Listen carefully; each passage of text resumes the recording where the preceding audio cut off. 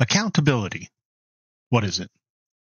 Well, accountability is most often referred to in the context of making oneself accountable to someone else.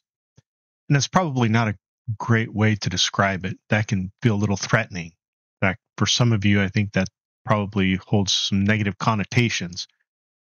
But it's not really like that. What is what is it really about? Let's start with this. Um, each of us is responsible for who they are today. Now, I'm not talking about what job you have, what family you're in, um, you know, things like that.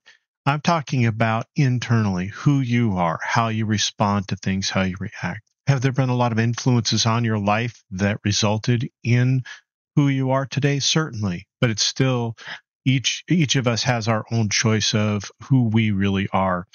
And to give an example, I know of people who are the most wonderful people patient, tolerant, effective, decisive, uh, go getters, ambitious, uh, and they're uh, great members of society. And they have the worst backgrounds. They grew up in the wrong neighborhood with broken families, with alcoholic or abusive dads. I mean, all kinds of horrible things have happened to them, career setbacks. Some of them maybe have been, been in prison for time, and but they come out and and they're in society and they are they are today people uh, who are extraordinary.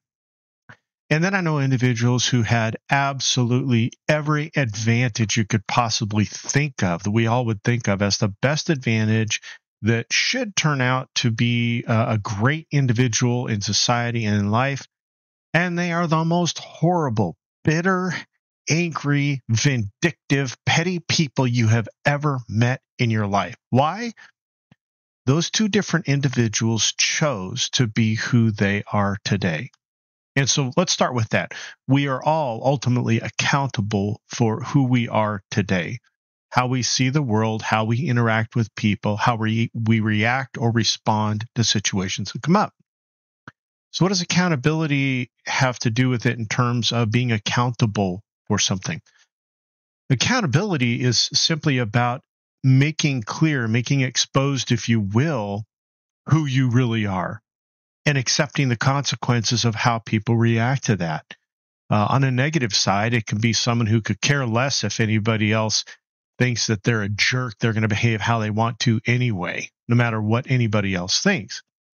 On the positive side, it could be someone who wants uh, to make sure that they are uh, being people who are outstanding citizens. And so they're willing to have people know about the things that they might be involved in to help them correct or change how they go about things or change how they think, how they behave. They want the assistance in that. So they've made themselves accountable for who they are.